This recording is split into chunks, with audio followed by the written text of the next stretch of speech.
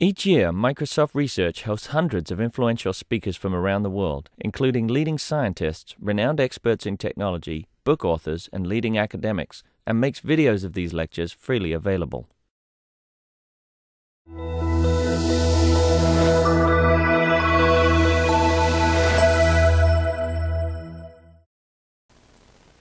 Good afternoon, all. Uh, we are now starting our session Digital Humanities in this Latin Science workshop.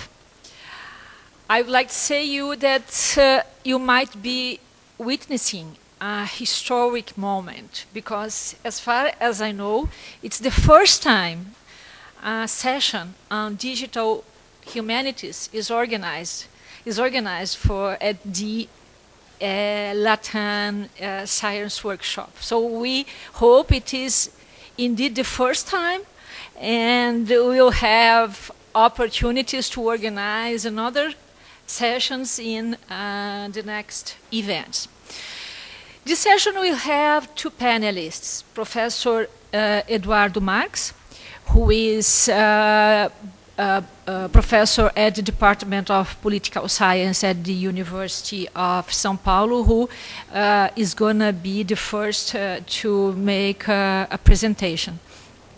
Professor Eduardo Marques was also the for, a former director of the Center for Metropol Metropolitan Studies, which is one of the FAPESP's uh, CEPIDs. it's a center which has a long experience in, employing digital techniques to make research. And indeed, Professor uh, Eduardo Marques introduced these uh, techniques to make research at the center. So here he'll make uh, uh, uh his presentation. Uh, and the next presentation will be Professor Claudio Pinhanez. I will present him afterwards.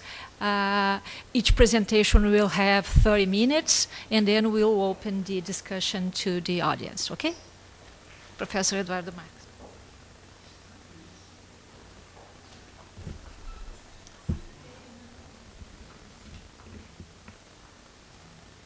Ok. eu não tenho aqui. Não vou ter aqui, só vou ter. Tá, tá ótimo.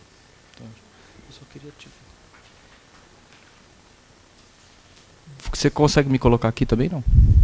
Senão vou ter que ficar. Se não, tudo bem. Não, tudo bem. Tá bom. Sorry. Uh, well, uh, welcome you all. Um, as Marta said, my name is Eduardo Marques. I'm a, a, professor at the Department of Political Science at USP and uh, also a researcher at the Center for Metropolitan Studies. And uh, the presentation I'm going to, to make um, explore several of the, the, the studies and um, the, the uh, public policy oriented studies we did at the center in the last years. And um, so that's the idea. Okay. Uh,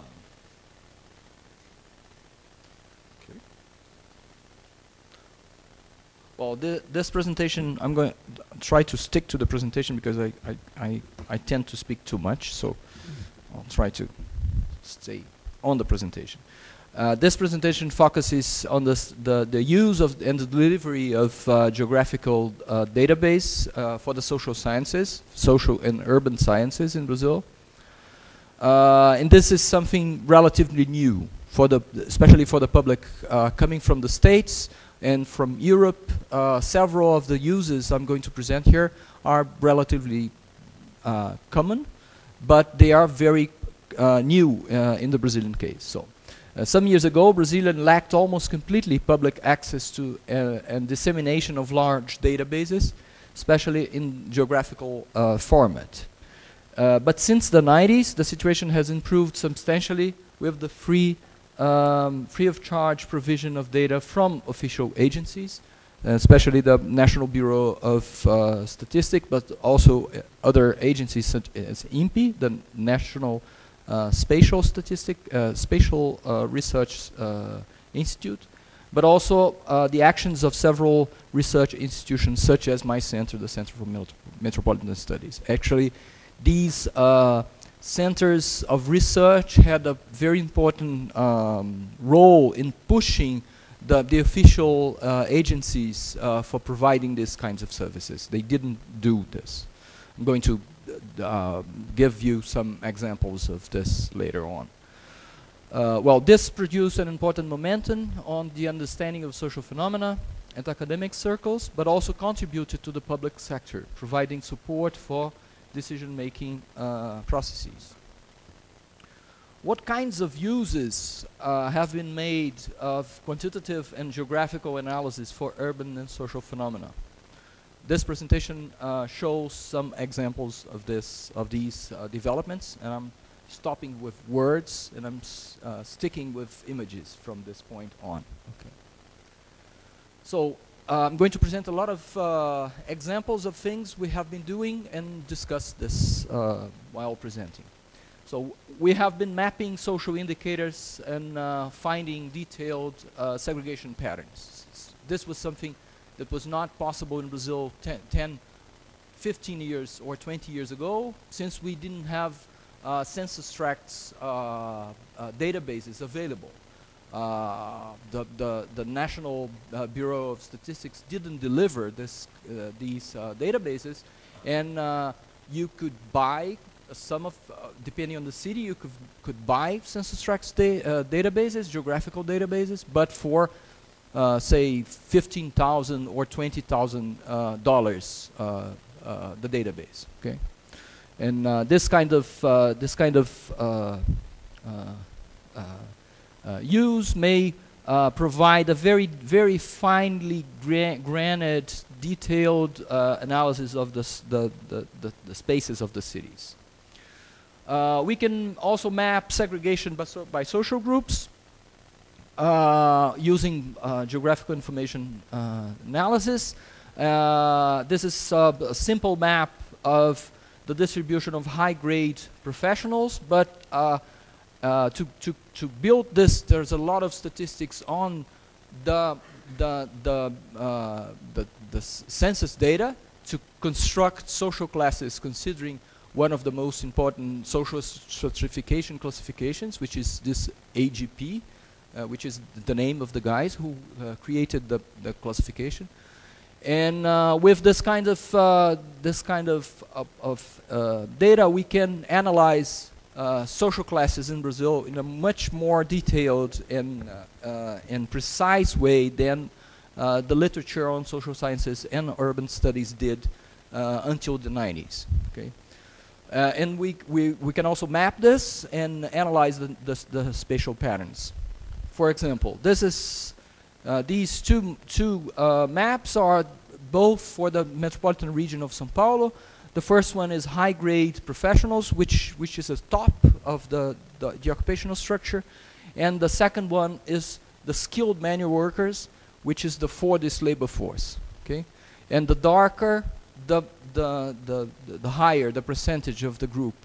As you can see, the two maps are one a mirror of the other. Okay, So you have a very, very strong segregation pattern, but also an avoidance kind of pattern in space. And this uh, becomes very uh, easy to, to, to grasp uh, looking at the maps. We can also analyze spatial growth. This is a map of uh, slums in Sao Paulo, in, in a small uh, part of Sao Paulo in the, the, the eastern zone, uh, comparing or superposing 1991 and 2000 perimeters for favelas. Okay, so you can analyze uh, spatial growth using this kinds of, of, of analysis. And you can also discuss difficult differences, um, concepts, concepts and definitions of urban phenomena.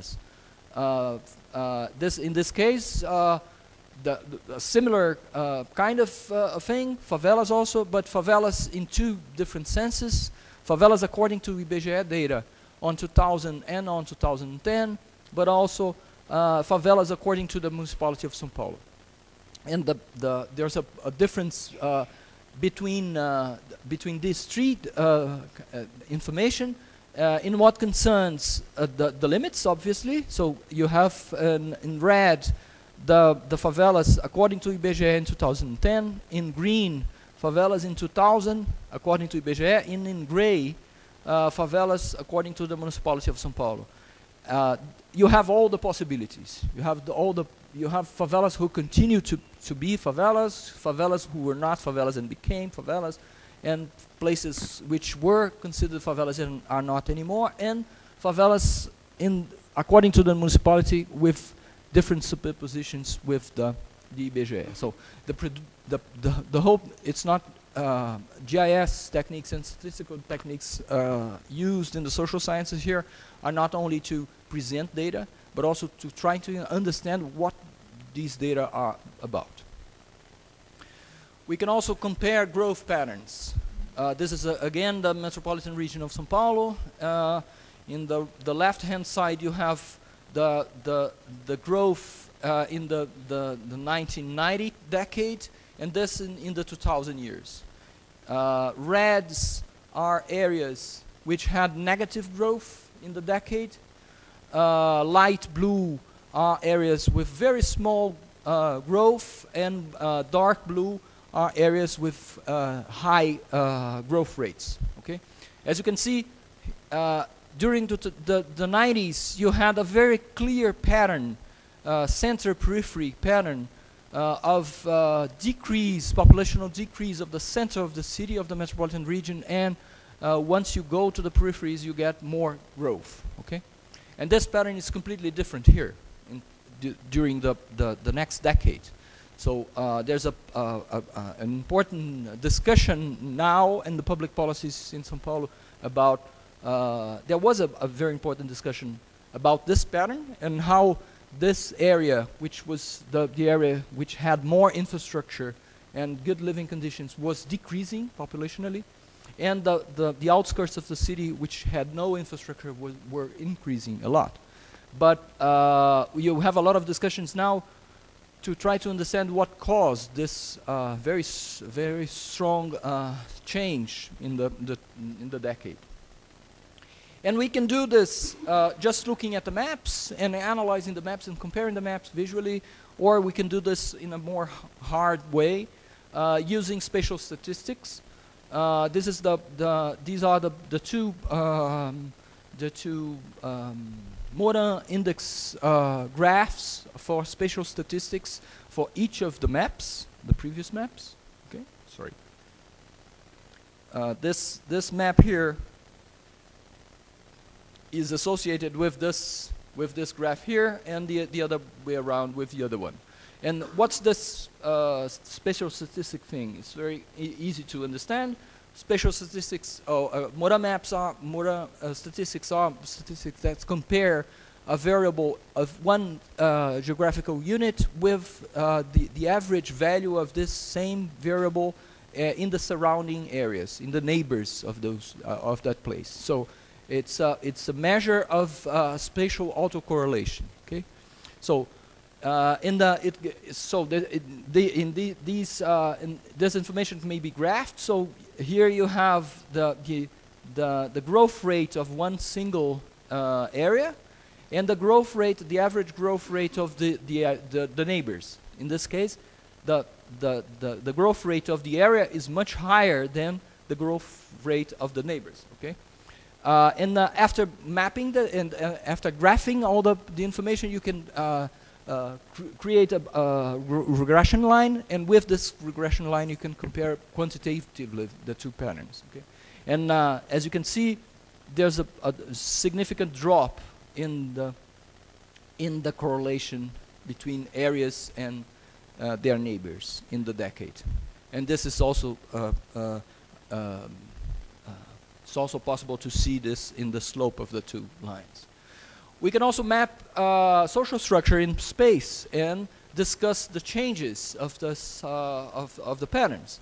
Uh, in this case, uh, this is a map of the, the metropolitan region of São Paulo in 2000, 2010, and these are spaces considering profiles of social classes. Uh, the, the other maps I, I've showed uh, were maps thematic maps of one single uh, category, the presence of high, uh, higher grade professionals. But even in the places where high, high grade professionals are very present, they are 30% of the whole population, which is there. You have 70% which belongs to different social classes. So you can analyze this with uh, factor analysis, analysis and uh, cluster analysis to try to um, discriminate profiles of social classes uh, in spaces and create uh, classification of spaces. So space of the elite, space of the middle classes, high middle classes, space of the manual workers, and so on and so forth. And analyzing, comparing the maps, and comparing uh, in spatial statistics the kind of uh, uh, analysis I have showed uh, before, you can um, uh, analyze the changes in social structure also. This is what is done here.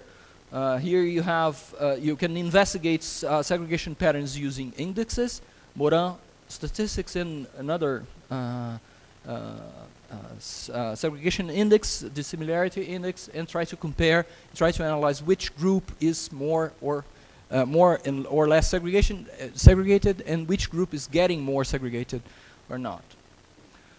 But uh, after uh, saying all this, we can just try to analyze, uh, uh, distribute events, and analyze uh, uh, spatial patterns. I, I like very much this uh, this map. Um, this is a map that presents the the um, the recently born children per per per the address of the mothers, filtering by mothers, teenage mothers. Okay, uh, and uh, each of these these things is a dot is a case, and the the the map presents all the cases from 2000 to 2005 pooled, and um, I don't know if you if the persons from from outside São Paulo can see this clearly, but we don't have the limits of the city. This is the municipality of São Paulo. It, this is it, yeah, the the points, the cases themselves create a perfect map of the boundaries of the city, of the municipality of São Paulo, without the boundaries, because the the the the, the pattern of uh, distribution of the cases is so peripheral that they they uh, draw the boundaries of the city. And we can do a lot of uh, we can try to use this uh, this information these, these informations to the public sector to help the public sector do better policies. And uh, now I'm going to present a series of uh, slides with uh, results of studies the Center for Metropolitan Studies did for uh, public agencies. This is a uh, part of a, large uh, study we did to, to the Ministry of Cities,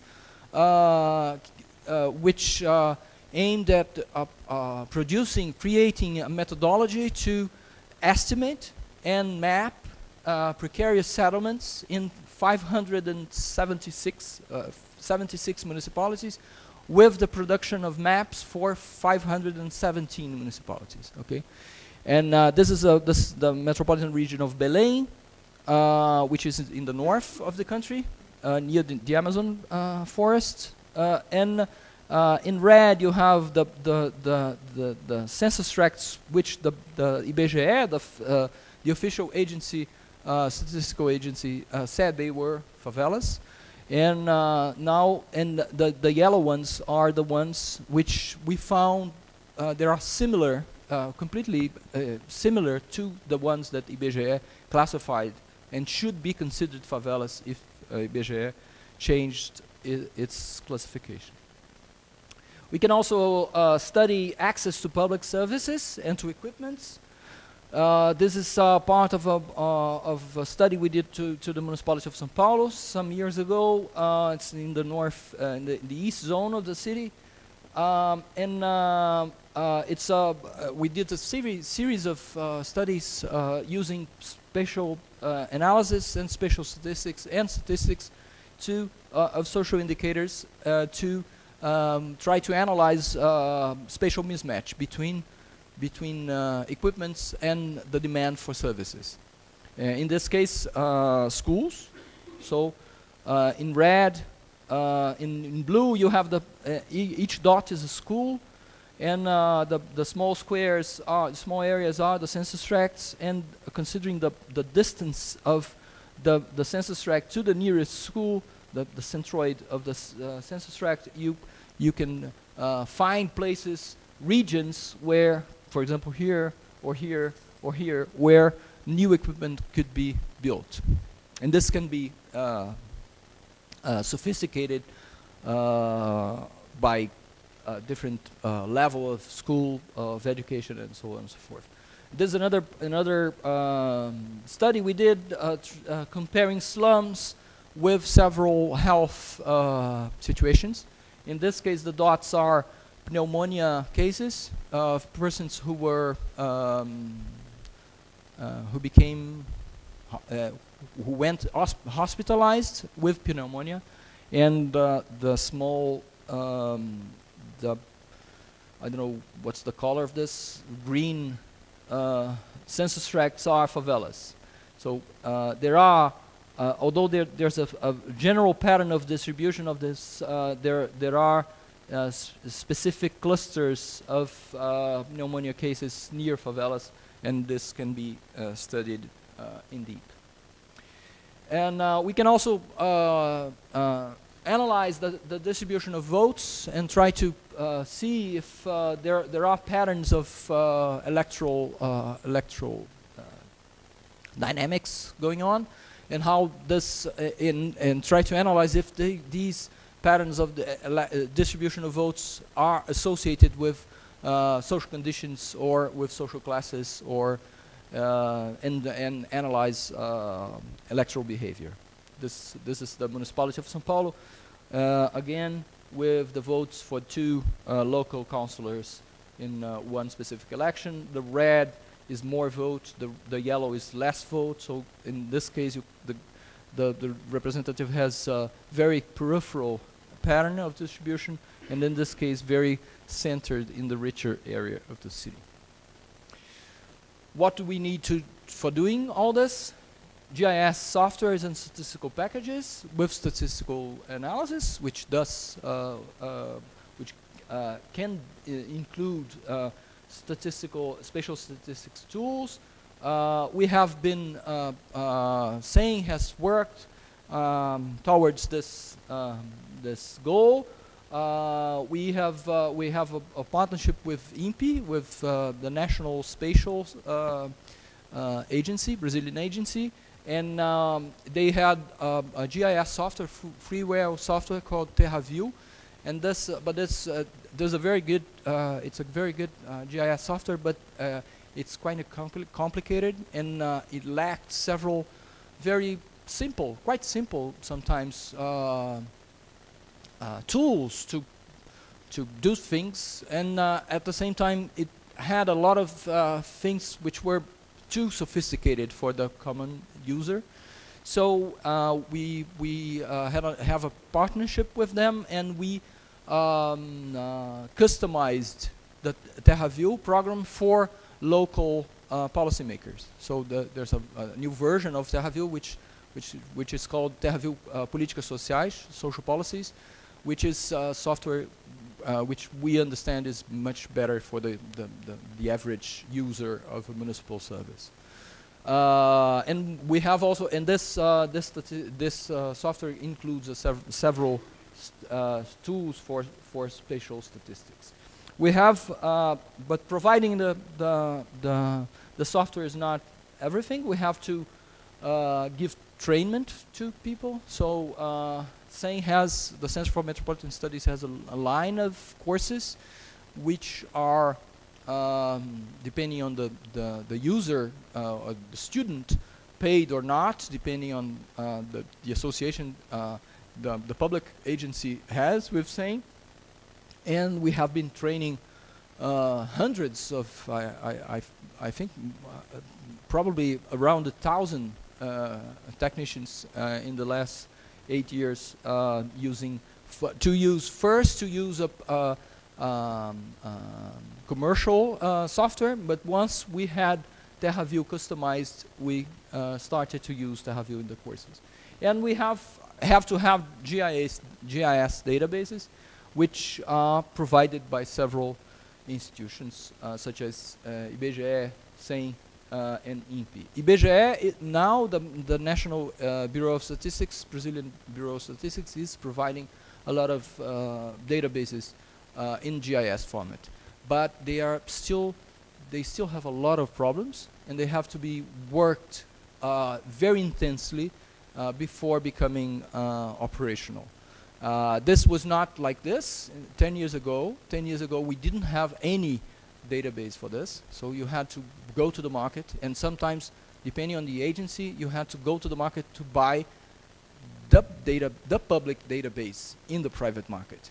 Okay, uh, we had the, uh, the, uh, the, the, the, addressable uh, the addressable street map for the municipality of São Paulo, which is absolutely essential to um, to localize uh, uh, this to to do actually this also, to do this kind of exercise which is associated to, to addresses, but also with this, also to addresses, and this also addresses, all of them um, were impossible without a, an addressable uh, map of the city, and the, the, the, the municipality of São Paulo had a map until, and until 2004, 2005 maybe, the, the map was not delivered uh, nor uh, the, the municipality simply didn't allow anybody to get the, the map, but the database was available, these ex exactly database was available in the private market for 30,000 reais or $15,000.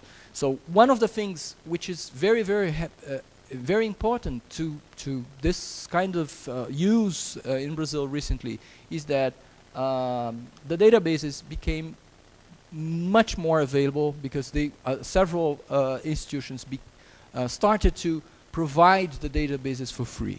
Okay, and uh, I think the Center for Metropolitan Studies has uh, a role on this, pressuring to to break this monopoly, the monopoly of of, of uh, um, databases. But the IBGE now is doing a, a, a good job, quite. It's getting better to provide databases for free. Okay. That's it.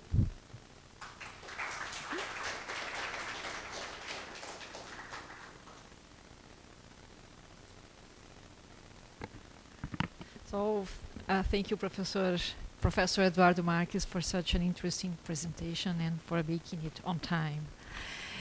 Our next presentation presentator will be Professor uh, Claudio Pinhanez. He was also a professor at USP and got his uh, PhD on computer science at MIT. He has been working at IBM for almost 15 years, and five of them uh, in Brazil. Am I right? So, please.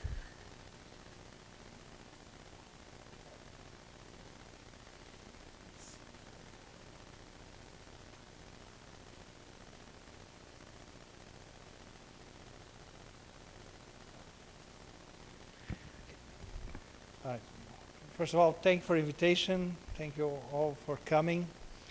Uh, and uh, as Professor Marta said, uh, I work at, uh, today at IBM Research Brazil. I'm, uh, I lead a, a, group. I'm going to talk a little about that. And, uh, before I was at USP. Today I was seeing some of my ex-students as professors here. It's always fun uh, especially when they cheated on, on the exams. But uh, the after that, I went to MIT. Then, I for 10 years I was at our big lab in in New York City, in, close to New York City, and now I'm here in Brazil. And uh, just how many of you knew before I said that IBM had a, has a reasonably big lab in Brazil? Okay, so I, so I can really talk about. So this is the view from our lab. It's not bad. well, this is one of the sites of our lab. this is at uh, uh, the back of our. This is a IBM building Rio. The back of it is uh, the Urca. So it's a very nice location. But we didn't set up a lab here to because of the view. I mean, we, in fact, we set up a lab in Brazil because of the talent we had. We, we thought we had here, and the talents we are finding here. uh, but our goal is, I mean, is be one of the labs of the IBM Research Organization. IBM Research has 3,000 researchers in 12 labs over the world. Uh, our goal is to be about 100, 100 something in two years. We are about 60 uh, people right now. We are started two years ago. It's not a, a bad ramp up. Uh, and in fact, we have two sites, one in Sao Paulo, another in Rio, about half and half of the, of the researchers. And we decided to focus in four areas in Brazil. Okay, each lab of IBM tends to focus on different areas. And here in Brazil, we have a, a large group in, in natural resources, oil, gas, uh, water issues. We have a group that focus that's called Smarter Human System that focuses on social development, doing a project on accessibility, for example. Uh, we have my group who works in, in, service. I'm going to talk a little more, and have a group who does uh, microelectronics, uh, especially uh, packaging of, of, of, of, micro devices, and that's in Rio. So uh, one important thing is IBM discriminates between research and development. So we are not an R&D organization. We are an R organization. So our focus is to do science, but also to bring science to our business, but not as a development organization, which IBM has a lot more people than research. What uh, do I call, uh, what service systems research? Basically, uh, what my group is interested in is in looking into uh, service systems that are very dependent on information and try to reinvent and create new technologies for those systems. Things like banking, uh, retail, education, telecom, uh, media entertainment. Those are information based services, and that's the kind of technologies we are trying to uh, address in terms of needs. Uh, we have a very multidisciplinary group, and that's essential to work in this area. And we focus in four main areas of this space. One is in computing service platforms. The other is uh, service delivery, IT services. Another one that does uh, social business analytics. I'm going to talk in depth about a project uh, on that area. And also we're interested in how we improve client experience uh, in terms of uh, the service context. one important question is why do you want to do service research in Brazil? And, uh, with, and, and the way I see this is this, we are in a very special moment in the world, very unique. There's a, a big transformation in our view going on, and we are not talking about the climate change. That's the other one. What what we think is important, especially in this context, is that in the next 20, 10, 20 years, more than half of the world is going to become middle class. And this is absolutely new in terms of social context. So, uh, of course, I have to say, oh, how do you define middle class? Let's think this way disposable income. I mean, you have work, I mean, before people have money enough just to live or less than money enough to live. Now we have more and more people getting to the point that they have disposable income. And uh, it's interesting, where, where's, where is going to be this middle class? And the question is simple China and India. See the graph here, uh, the, the bottom curve there. Let me see if I, oops. Here. This is uh, India, right? Yes, no. This is China. And this is India. No, no, wait, wait, wait, wait, wait, wait, wait. This is hard. Okay, this is the world. This is the world except China and India. Okay, that's the answer. Okay? And a little of this is Brazil, in fact. And uh, it's also where all the consumption is going to be. So this, in 30 years, we expect half of, half, more than half the consumption of the world will be, of, in terms of middle class, China and India. This is a huge transformation. And uh, interesting enough, the question is, what's the impact of this? So we think that's one, that there's this collection of problems related to this growth, to this increasing disposable income, that will be the key challenges that we have to face besides the climate change. And although related to that. And it's like, how can we produce energy without carbon, without producing carbon? Because there's going to be a huge spike dri driven by this climate, And water and food, and we have to, ha to learn how to make products in a more sustainable way, otherwise we'll run out of resources. But very important, when people become middle class, they increase their demand for services. And uh, service productivity is the thing that hasn't grown in the last 20 years. So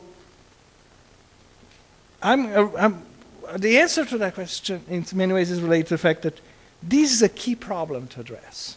How can we make service, banking, retail, education, health, all this uh, service that people need more productive and with better quality? And uh, so I want to talk a little more about this. And, uh, but first say, why Brazil? Well, the issue is, in Brazil we crossed that line four years ago. I'm not sure you're aware of that. I was surprised when I heard. So more than, of course, it depends how you define middle class. But th there's a trend here. If it was five, four, two, it doesn't matter. And we think that Brazil is the place where we have already the, the framework, the, the need for new service for this class. So we can use Brazil as a test bed for these new kinds of services that have to be developed, the new ways of doing service. And also because this middle class is not exactly what we expect. What we know from studying this middle class is that that middle class is not the 1950s American middle class in the 21st century. It's not the Jetsons, which is exactly that portrayal. One thing we learn about this middle class is they don't want to become Americans or Italians, which is normally what middle class wanted to be in Brazil. They want to become something different, which are more like Brazilians with disposable income. And uh, but one thing we learn is they don't tolerate bad service quality. So our challenge is to produce service at quality and scale. Because this is half of the population. And quality, I mean, if you interview the new middle class, they are as intolerant to queues in supermarket as the A class in Brazil. They don't, they don't buy into this thing of, I can tolerate worse service for less money. And the problem is when you look at the old technologies that we developed for the 1950s middle, class and beyond, was either about quality or scale. So the supermarket was our solution, our scale solution, but not our quality solution. It was a way to, to, to deal with the mass uh, movement of goods into households from the small stores that existed before. And again, when you look at the quality, we say, oh, just put more people. Let's put 20 students per class. That's oh, that's great quality. Does that scale? No. How many millions and millions of professors I would need in China and India if I use the 20 to 1 rule? Do I have ways to produce enough of these teachers? Do I know how to graduate millions from university? So that's the kind. So the real challenge is how to do the, both things. And we, the way we see is we have to rethink how we deliver and how we do services. And uh, so, and, that, and there's a, a, large important part to be played by uh, computer science, and social science. But in many ways, I'm sticking to my main area of work, which is computer science. These are areas that computer science can really help this new service. One is finding better ways to use social analytics. I'm going to talk more about that. The other is find ways to remove people from front and back offices, automate things. The other is make, whenever I have humans interacting, provide the service, make them more effective and having technologies to, to make that more effective. Another is find ways to deal with infrastructures of these countries which are tend, and will be still very poor in the next 20 years, very complicated. And then there's very important thing is make services into products. So we say make robot, robotics and devices. I mean, the simplest case of that is in the past I used to go to a pharmacy to get my uh, blood pressure. Now I buy a small device, I go at home and measure it. For most needs, it's as good. In terms of quality, is as good as the pharmaceutical guy, assistant, blah, blah, blah, who barely could do pressure anyway. So I'm not, I, I don't have time today to talk, really talk about automation for office, but it's a huge area. It's a huge, huge area. And we have seen the first guys doing this, but they are doing the easy service. Commerce. Commerce is a very easy service. They don't uh, talk, I mean, if you have to talk about health, education, those are difficult things. But this is a good start. It's also, there's a huge space for robotics at home. And then the Japanese are ahead in that area. They are really thinking. And uh, so you see here, I mean, this is a ice cream serving machine. This is surgery. Sometimes it's an issue of precision. Here's a messenger. Here's a, a machine to help uh, paraplegic people eat. And this is a robotic cleaner. You can buy one of those. And then I challenge you to say, what is this machine for? Any idea? The, the, the one, the, oops, sorry. This one here. Okay, here. The bottom middle. Any suggestion? Okay. Cleaning toilets. Goes rear end, cleans it. It's Japanese, come on. Have to. Anime had a profound cultural influence in Japan, and we have to to take that. So, but of course, there's a huge explosion, and that's what I'm going to give you a concrete example of research we are doing in Brazil in, med- in data about people in a level that we never had before. So, for the first time, I think we can actually do quantitative social analysis at large scale. I mean, because this data is sitting all over this place. We cannot do now because these people are defending this data like crazy too well, so it's hard. But the potential is there. And we have to find ways to connect everyone and find ways to mine all this information because then we can start to think about how can we predict better the behavior of people? How can we understand what's happening with the population so we can respond, for instance, by preparing health services to what's happening and things like that? So, what we are doing is uh, looking at this problem and trying to develop uh, probabilistic models of this behavior so we can predict and analyze. Uh, just so I understand, how many people here has a, have a computer science uh, data analysis background? Okay, half. So, so, there may be too many equations for some of you and too few for some of you, but maybe I think it will work out. Okay? So I'm going to talk about a, a project we started last uh, end of last year, uh, middle, and almost middle of last year, of a simulation of social media. And this is an effort of a, a lot of people. We have experts of different areas. We have an expert in simulation. We have experts in text analytics. Uh, we have um, Samuel, who's there, who's working with us, and uh, a lot of people. And what's, what we are trying to do? Uh, when we think about, think about Twitter, it's a simple example of social media, Twitter.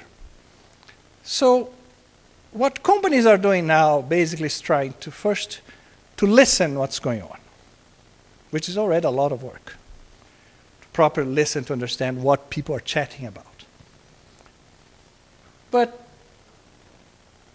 uh, in, in this normally the first stage is monitoring, looking what sort of but then there's the part of analyzing it, of really making the kind of conclusions that, that Eduardo was talking. But we see, we, we see this for, for many activities that, you, that a company or organization wants to do in this space. There is also a need to plan those kind of campaigns. And there's a little problem with the social media uh, example. It is viral. Means it, it, it's, hard, it's very hard to understand how fast information will propagate there because of the way it's connected, in the way the information flows. So we had recently an example of an airline company in Brazil which decided to do the Black Friday kind of um, uh, promotion and said, I mean, tickets would cost whatever. And uh, they were expected this viral campaign. They expect, I think, 50,000 people around that. Two million people showed their website. It went too much viral.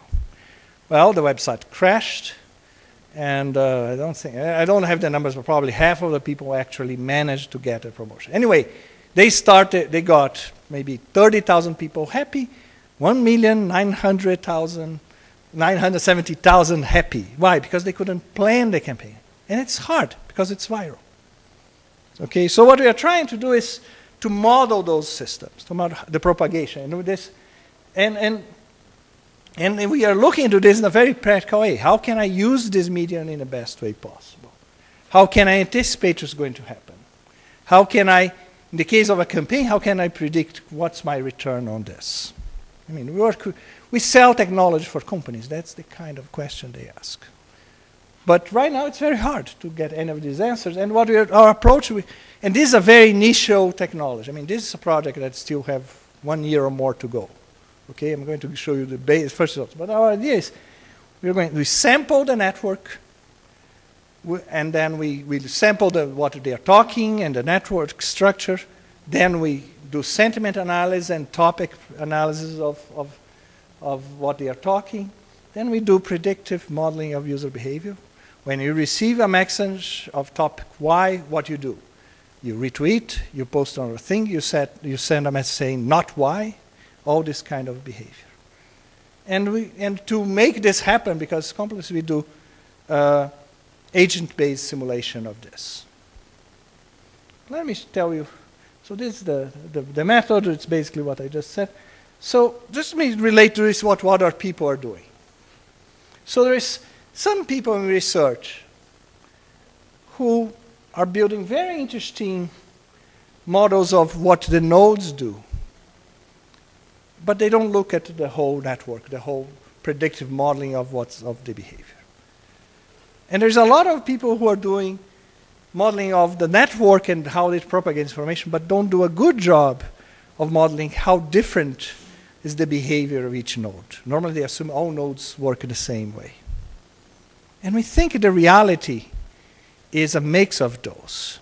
And especially in social media, where people become followers of other people, not necessarily because they agree or they like that person. I mean, and this will be clear in the example we did. So, what we did for sample, we this was around uh, September last year. So, we decided to sample uh, to understand what was happening with the American elections. And with so this, we took sample from the last month of the Obama Romney campaign. Okay? And this is the job of Samuel who's out there.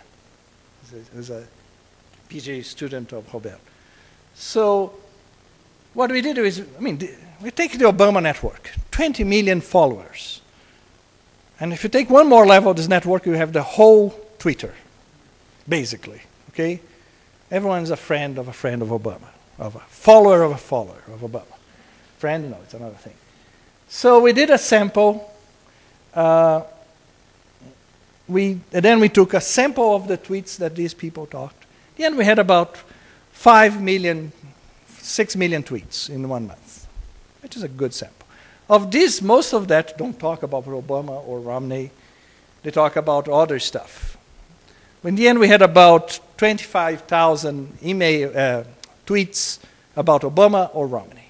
Of all this, I believe there's about uh, this 25,000 users. Okay, uh, so we did a, a sampling analysis using sort of standard techniques. What they're talking about Obama or uh, first about Obama or Romney, and second positive or negative. And uh, so here is sort of how it looks like. So this is one month, okay?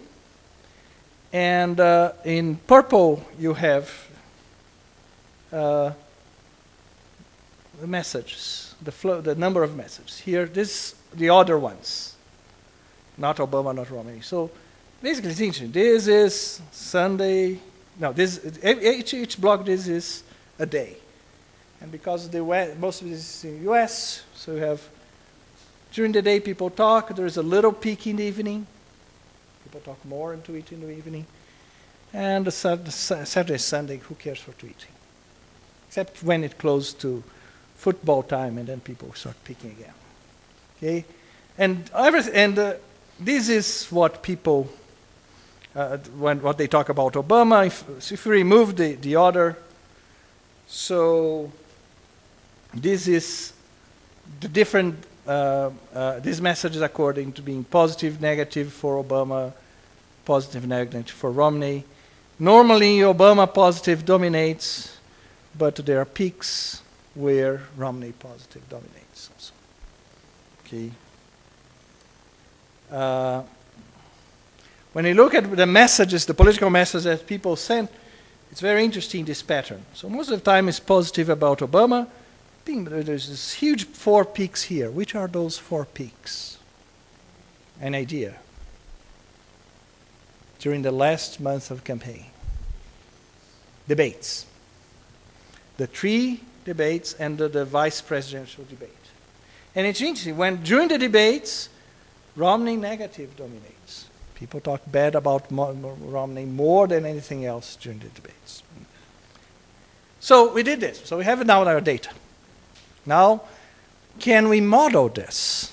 So what we developed was uh, a basic Markov chain model of each node of the network.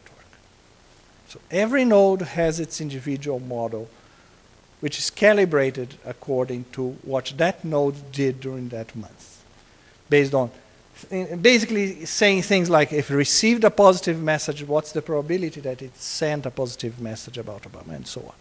Very basic model, very initial. We're still working to improve this. And uh, so we did this, uh, the classical structure to way to do, do this, this behavior model is probabilistic behavior modeling. I'm not going to enter in details here. But also we had to model not only what they say, but how much they talk.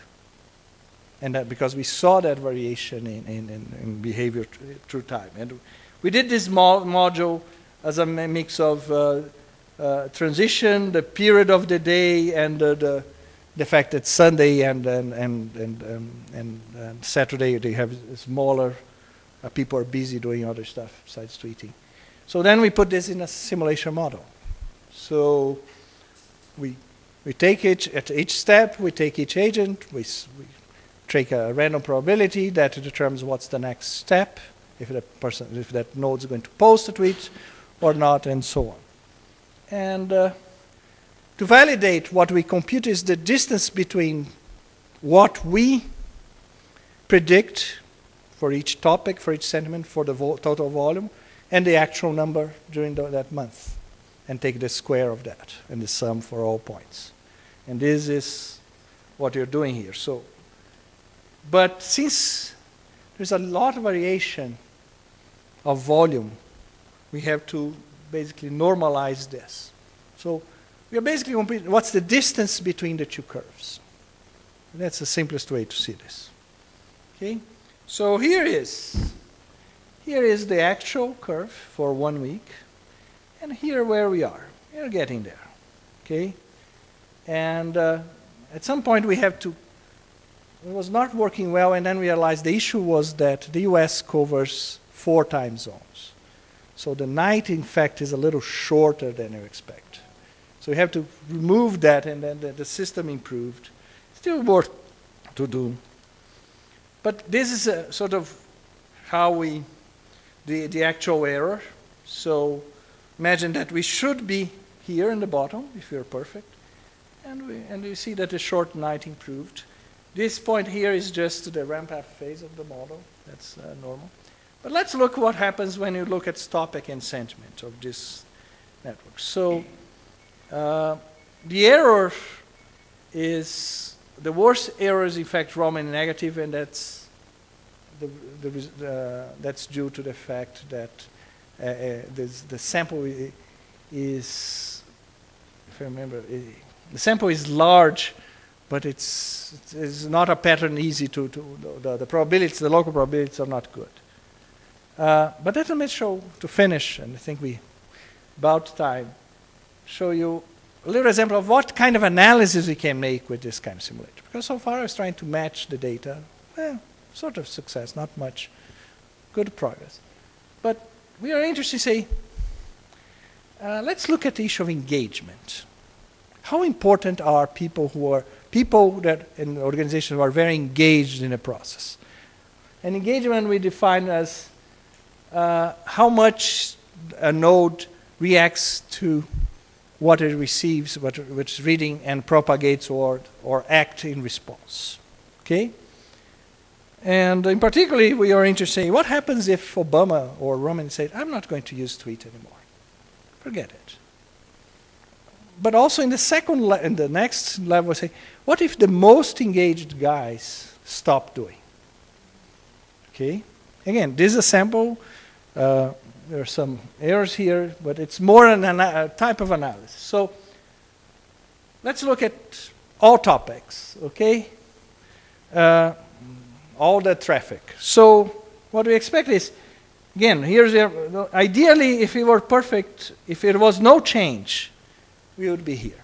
So if we remove Obama, hmm, it's the not much. It's there is change, but not much. If you move the top ten engaged guys that follow him, it's here. Uh, it gets a little worse the simulation. You remove important guys, it gets worse. If you remove the top 100 engaged guys, then it gets start to get a lot worse. So these guys are important. But if you just remove 100 randomly, not, in, not considering engaged, you see that the, the, effect is less than removing the really engaged guys. So that means also is, hey, this, this, it's also sh so shows the simulation seems to be working. It's matching our notion. But what's interesting when we look not at all topics, but people talking about Obama. And again, removing Obama is here. He's, Obama has more influence than the first, the top 10 engaged guy following him. This is interesting. So that shows that the, the, three or four key sites that follow you have less importance in, in changing the system than the, the, center of the network. If this analysis is right. Oops, sorry. I'm finishing this. Uh, so it's also, and then if you move uh, the top 100 again, it's, you have a, a, lot of impact, which is more than, than random 100. So this is the kind of thing you can start doing. Basically, uh, the question here is, could be summarized as, is worth doing marketing social media? And we are not ready to answer this uh, question. But that's the kind of analysis you can start doing with this kind of tool because you can simulate it under conditions that we're never going to see in the real world. Okay? So to finish, we still have a lot of stuff to do. I mean, in each of the, the PCs and the whole, but I, we think it's a very important way to try to understand this system. This is the kind of research we are trying to do in this space. I just want to finish one with one more comment, uh, which is I think this area of data analytics and uh, social data analytics is really important, is really taking off. But we have an incredible shortage of people who can actually work with that data. I think I, I think it's a very important time, and this is the right forum to talk about this, but for to find uh, university programs that may be multi multi department that look at how can we create data scientists in the volume that big data will require. Big data will require a lot of data science to look at it, and we don't have those people. We don't have them. Okay, people who understand statistics, who understand data mining, who understand enough comput computation not proposed, exponential search to that space, and also people who can bring this all these conclusions back to home and to the uh, social uh, and to compare with the social truth, let's put it, with the ground truth of, of this phenomenon. I think it's it's very important to, to look into this kind of, of, of people. Okay, thank you. And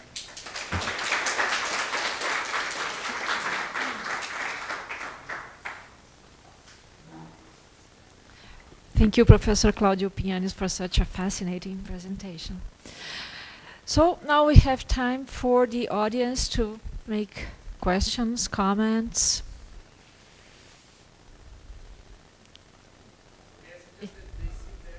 Yeah, please, please.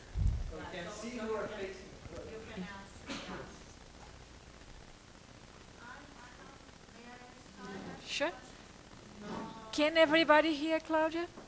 Is it okay or, or okay? Yeah, Okay. I, I may need a microphone Okay. because I don't know whether it's being taped or not. It is? Yeah. Okay. Oh, okay. So I was wondering, um, because Eduardo's uh, presentation was mostly geo-centered, and yours was at the end. Of course, you covered lots of, um, of subjects, but uh, yours at the end was uh, tweet-centered. Uh, how can you combine both approaches so that you have a geo-Twitter uh, centered uh, analysis? It would probably show you uh, distinct trends and, uh, and it would refine your, both of yours uh, analysis. Can both of you guys comment on, on, on combining these sources of data?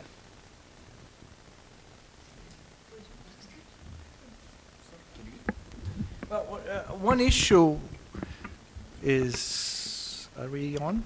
Yeah, is that not all tweets have geographical information. Though not all tweet tweets have geographical information, where they were sent from. Okay, it's because you have to enable that explicitly in in Twitter, and also you have to be in a device using a device that has GPS or some other. So, but some are, and I've seen people doing this kind of analysis. We haven't done, but I, I've seen it. It's very interesting, uh, the kind of data that, that you can get. Uh, I don't know about Twitter exactly, but uh, but this is one of the frontiers of uh, of the social sciences which uh, work with uh, social network analysis in a broader sense, which is to combine mapping of relations with the mapping of the territory, or to superpose the two things. Uh, this is my ex. Uh, uh, it's a coincidence because this is exactly my field. This is what what I do, is connect segre- spatial segregation and uh, social networks.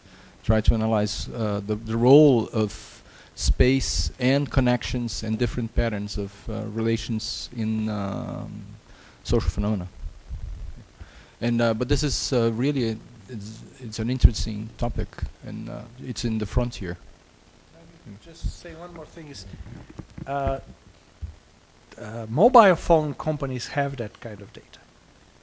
I mean, if you combine, if you have access to SMS, and then you know the closest station that they where they are sent from. So, and that's incredibly, and also that you know who they are talking to. It's, I mean, telecom companies have the best database about people relationship. Uh, I mean, it's really impressive also because it's very pervasive to society. So they're in an incredible good position in, in this space if they learn how to do data analysis. Uh, with the small n, while we don't have this big n uh, data, what we do is to ask people about uh, their relations and their locations where they live, where the, they and try to analyze in studies, specific studies, uh, for specific social groups, uh, what's uh, how the superposition of the two uh, patterns of networks uh, happens.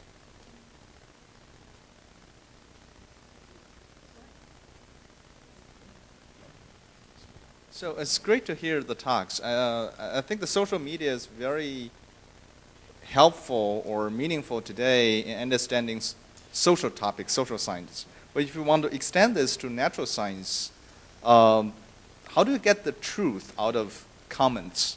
Right? Rumors tend to spread, and people tend to make extreme comments when they spread spread them in social media. So, any thoughts on how to distill objective information from uh, these tweets and, and things like that? Well, uh, I would uh, rephrase uh, the the subject as the the problem of uh, connecti- uh, cognitive data. So, uh, how to work with cognitive data, data that pass through the cognition of the, the, the, the person who answers or who tweets or who answers the phone and everything. And uh, because uh, uh, there's no truth or no lie in this thing. People behave uh, considering the, the, the, the, the information they- have and the way they process the information. So if someone represents uh, reality in his head, for example, my, my data on, uh, I, I just uh, finished a large uh, research on um, the role of social networks and segregation on poverty in Brazil uh, with a very tiny, for your standards, sample of uh, 362 persons, personal networks, and uh, uh, not only ego-centered networks, but uh, personal networks. And uh, it was very hard to get this small sample because you have to stay there several times interviewing people and everything. And uh, this, uh, so this was uh, this. your question passed through my mind when I was starting the the, the research, and I get completely convinced that people use the networks they understand. So there's no network hidden in one specific place, which is the true network. The, the network is the network which is associated to the, the actions of the persons, and the actions of the persons are associated with the cognition they have. So uh, I think through cognitive data, we, we get a lot of uh, a lot of, uh, of, of the, the information, exactly the, the kind of information we need. We have to filter for, for lies specifically. Uh, but uh, depending on the situation, you don't have to do it. It's not logic to think that the person is lying. So the person is not, is just thinking the, the world with its own head. So let me let me give you example uh, things we we uh, saw in research. For example, we look at people check-in data, right, on Facebook and so on, and people tend to check in in high-end restaurants and places like that. Although you couldn't expect these people to go to those kind of places every day. If you just look at that particular aspect of what got exposed in social network, you get a biased view on uh, the living standard of these people, for example. Okay, uh,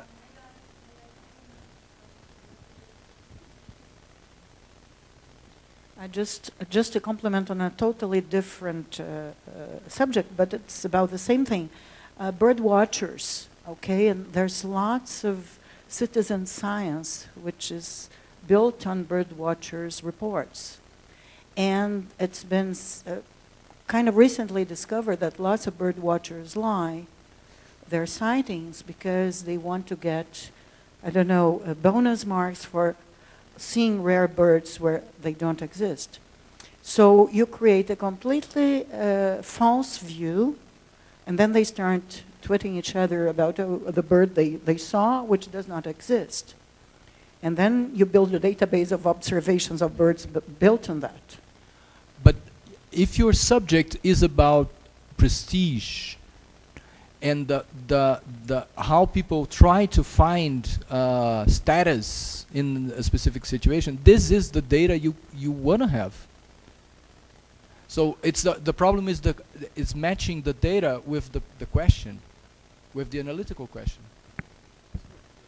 Let me, uh, different questions. So, uh, first, the issue of rumors is first we have to understand that traditional media is as sensitive to rumors as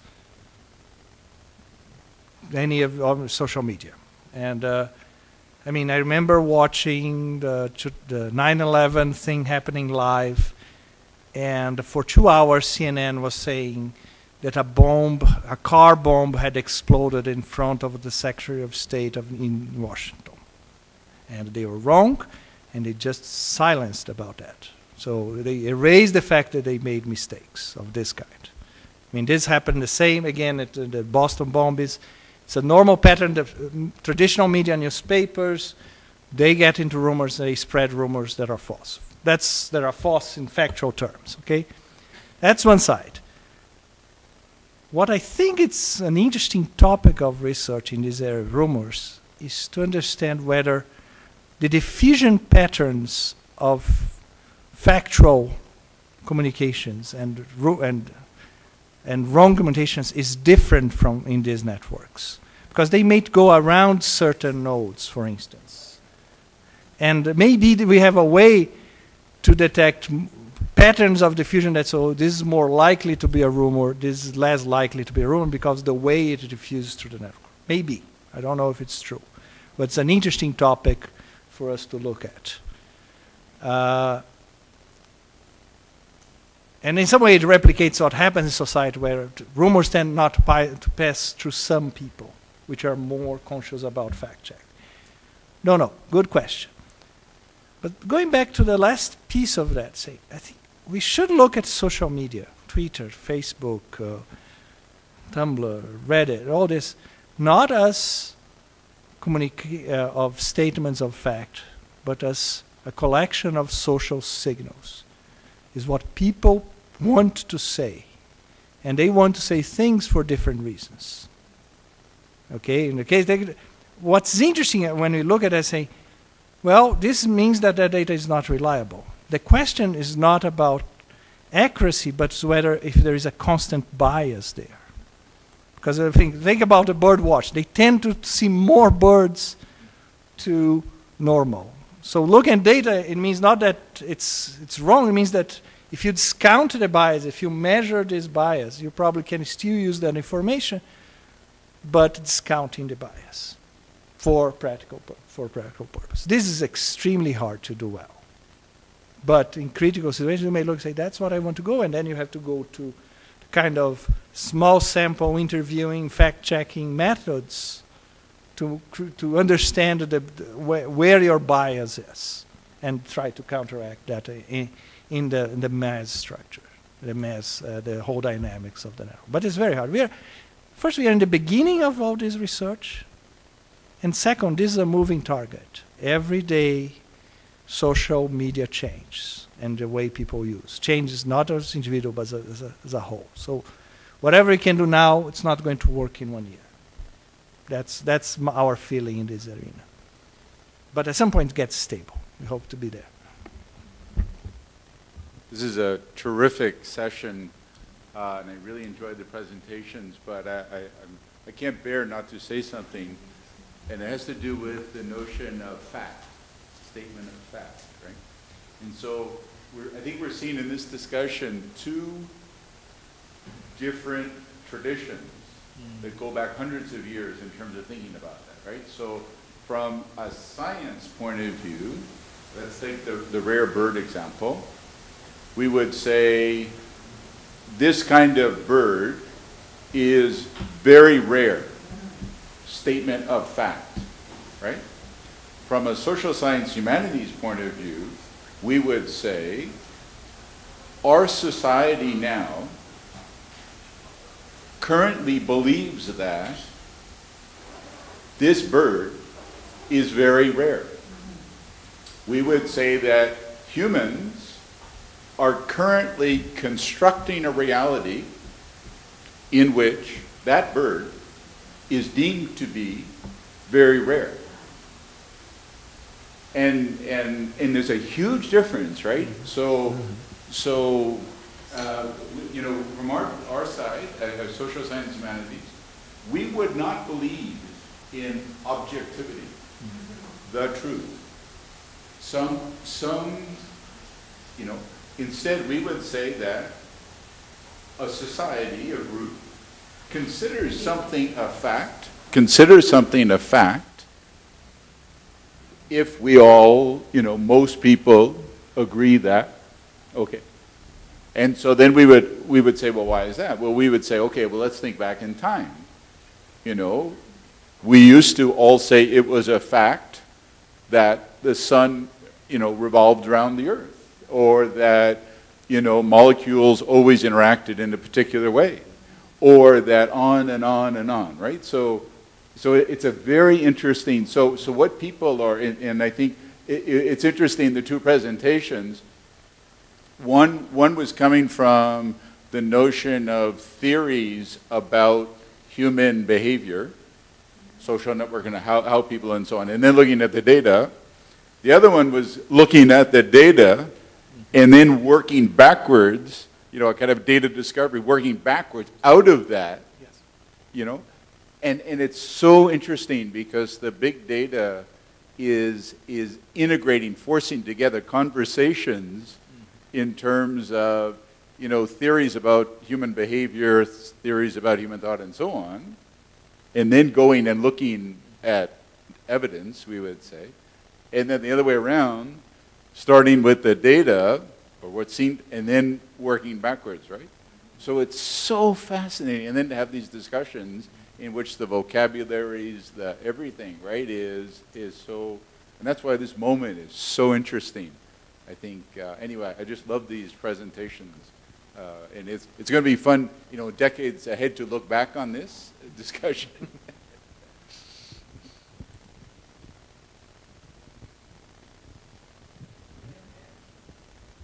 uh, let me ask uh, some more comments on, on a different topic. Uh, what about human resources to work on this field? Uh, Claudio mentioned at the end of the talk, the, the, the, this, this important topic. And I would like to, to hear from you. How, how can we start doing things in order to prepare people uh, that would be uh, in some five years or 10 years or 15 years able to work uh, on this field? I would like to have some, some ideas.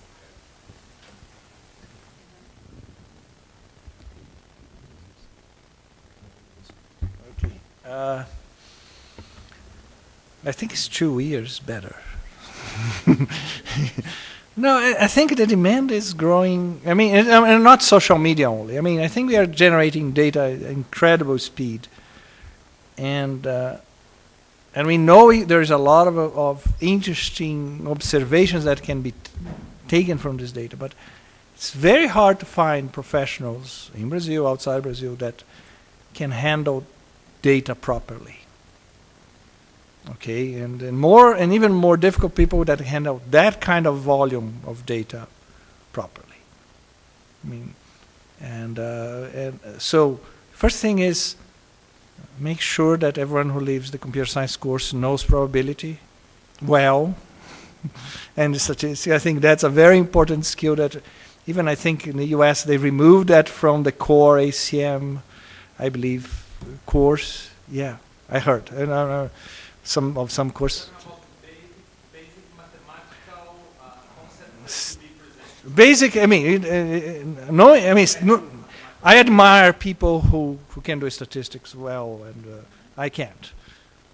Okay, uh, uh, but there's so much you can do if you do that right, and there's so much wrong stuff you can do if you don't do that well. Okay, you pretended you're seeing things. I mean, I mean, at least they should know that correlation is not causation. That's the first most important thing. But but statistics is sophisticated. And let me give an example of that. There was a lot of press about this guy that shown that he correlated uh, uh, when after the earthquake in Haiti, they correlated geographic position of posts and uh, you could find where the most damaged buildings were. And I said, wow, that's cool. That's a very predictive tool. And now I can lo- just look where the tweets uh, and messages are coming from, and I know where the buildings are. In fact, that was wrong because he didn't correct his, he didn't do circulation in the context of considering only the places where buildings exist. And when you look and we say, okay, let's correlate this data with only the areas where buildings actually exist, and then it's a negative correlation. People don't tweet on top of piles of rubble, which is also obvious, but so, and this basic statistics, you have to be aware of what you're correlating, what are the distorting factors, and then just take the measures. And data science have need to know that. And uh, it, right now, we don't find that skill. We have guys with statistical background, which have a hard time using the kinds of tools we are talking here, and uh, data sci- and uh, computer science who understand databases, but don't have the, the analytical statistical tools. I mean, not even making the complex where Professor Chad went, of going back to to the field and compare that with uh, uh, uh, with qualitative work. And even it's more more rare to find. But I think it's something we need if you want to move into this era of big data. We need this kind of people, and I think in short term, the issue is giving that uh, more and more of that option to computer science and to statisticians, to people, and then looking into master courses and, uh, and training to, to, to, to create this kind of, of, of view from people in the, who, who have already gone through. Well, I think in the social sciences, looking from Brazil, which is the, the only place I really know about uh, the, the, the the teaching and the formation of uh, persons in, in the social science, uh, not in two, not in four, not in ten. Uh, I think we are improving. We are really improving, but it will be a very long uh, walk until we have a lot of uh, researchers. Uh, um, I think we are in phase one of this of this process. Uh, we were 10 years ago. We were in phase zero, so it's something. I really think it's something.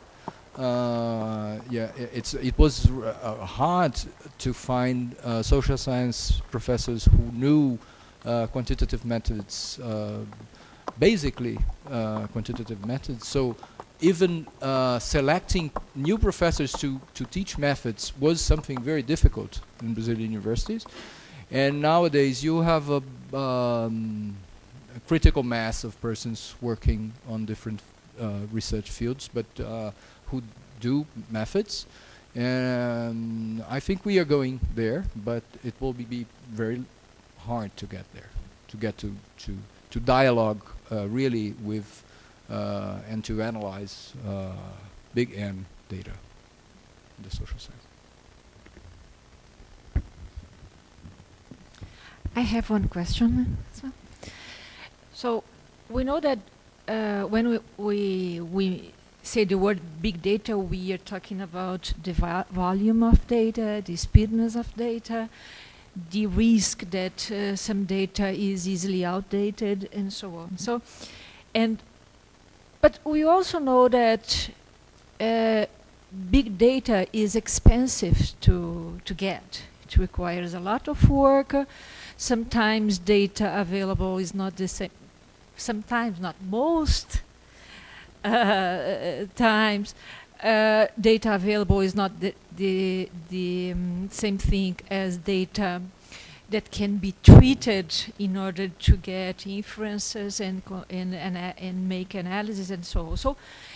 Uh, what is your opinion about sharing data sets? So, uh, the present situation is that most data sets are, are almost private in Brazil, in the sense that each researcher has its own data set, or each research center has its own data set. So, and we would get uh, more a more efficient efficient use of this data set if we share it. So, I suspect you, you will agree that we should uh, share data set. But if you were to, to, to start sharing data, what would be your priorities if you were to, to be engaged in such a uh, endeavor?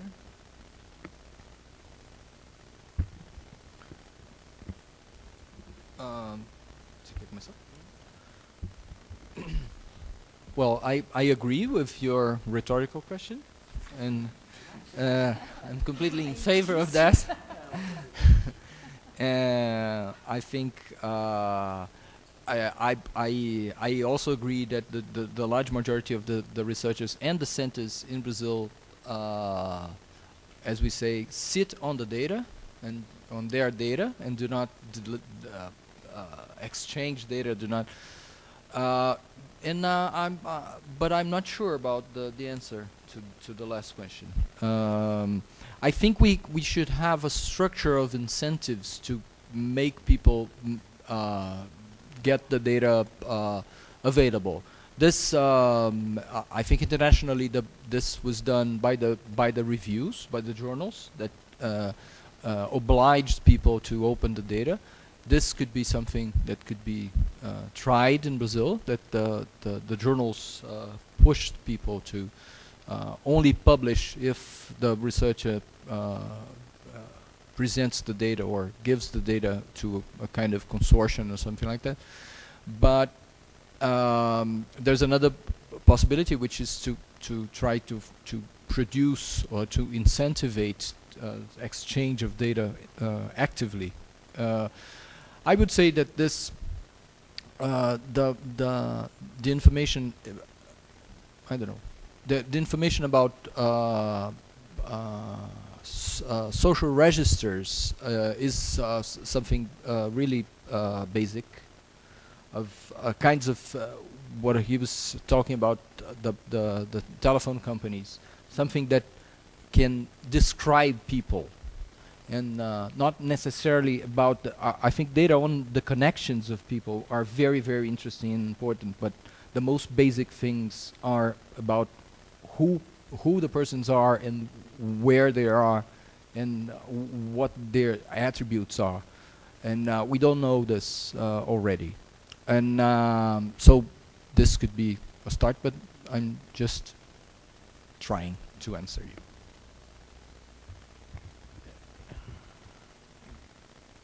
it's uh, first answer to the question. Do you know how, why there are so many research works with Twitter data?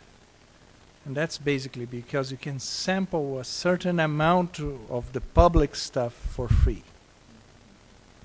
And the second is buying large amounts of Twitter data is relatively cheap. I mean, you can buy, I mean, uh, something around I would say 20 million tweets for public, all public, for I don't know two, three thousand dollars, cheap in terms of research. Okay, so that's and that you cannot do with Facebook. Just that's an example. And then with other sites, and you can buy from other media. So part of the issue is that. I, I, think there's a larger issue, and then I, am going to really say that this is not this is my personal personal view, not my company's view that uh, this land of digital data and words is so new that all our legal system is absolutely obsolete to, to handle it. I mean, I, I, other day I saw a researcher, I forgot his name now, he said, uh, basically if you look at the way uh, data in social media in particular is controlled at this point. This is the, it's basically pre-Bill of Rights era. The data belongs to the land where you are. So this is before, this is 2013, right, Bill of Rights? So this is before the first, the first uh, legal landmarks in terms of personal rights. So at some point, we as a society will have to discuss what we think is reasonable as the data, the, the, the, the rights of personal data. And we will have to agree that, and that's a political process. So that's the, this, the basic structure that we'll have to go through at some point. Uh, When things are stable, it become a lot, it become a little easier to talk about. It's very hard to do that while the things change as it was going now. Uh, having said that, I mean, uh, you, you, for instance, sharing becomes difficult. For instance, you can buy uh, tweets from Twitter, but you cannot post a single one of them publicly. You can only talk about aggregated data. That's the rule. Again, someone created, and when you enter to Twitter, it's copyright's theirs. Period. They own that data. Okay, and that's again things that we have to discuss. And I'm not. I'm. I'm talking only about Twitter because I, I'm more familiar with it. It's not particularly criticism. I think different areas handle different. And then we have to handle issue the issue of uh, personal data, private things that I want to be private. It's a. It's a very complicated, structured.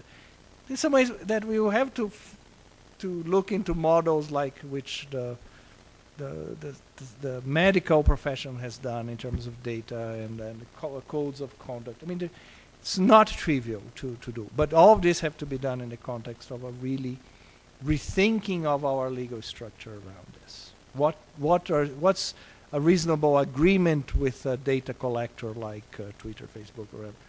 I mean, right now is everything belongs to them. It's basically. Uh, no- that's the normal. And they also have legitimate issues to say why they want to do that because they want to have to. They also have to be protected in some ways from people saying that they're abusing. There's all this collection. So very complicated. Uh, this case is very complicated. Uh, but we should try to work together, maybe consortiums of these companies that provide access to the data under certain conditions, of course, respecting privacy and so on, so we can advance this this kind of, of study.